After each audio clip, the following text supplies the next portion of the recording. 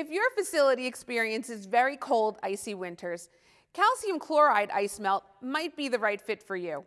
Hi, my name's Lisa Nicolosi, and in this episode, I'll review calcium chloride ice melt and why it may be a good choice for your facility. Calcium chloride ice melt is the most effective ice melt for lower temperatures with the lowest effective temperature of negative 25 degrees. This ice melt acts fast by quickly melting away ice and snow.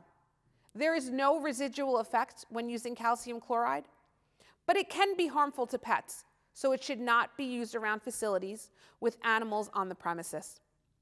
I hope you found this video valuable. If so, please consider subscribing to our YouTube channel so that you're the first to know when our new videos are released. Thanks for watching.